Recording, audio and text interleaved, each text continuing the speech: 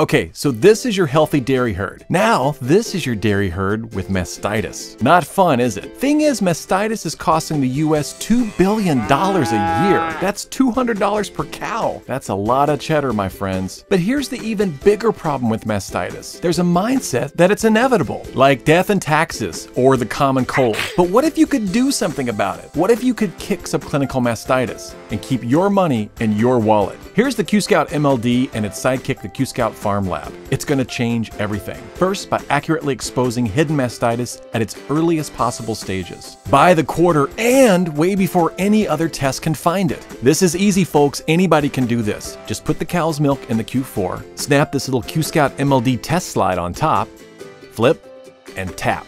Then pop it into the Q-Scout Farm Lab. All right, now check this out.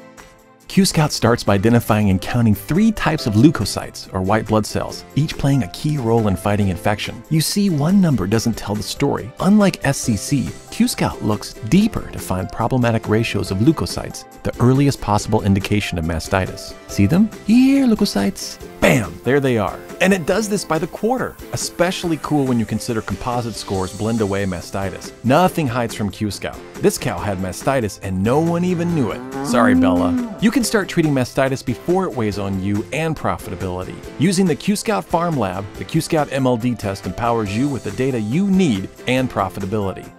Boost milk premiums, reduce mastitis treatment costs, and improve reproduction.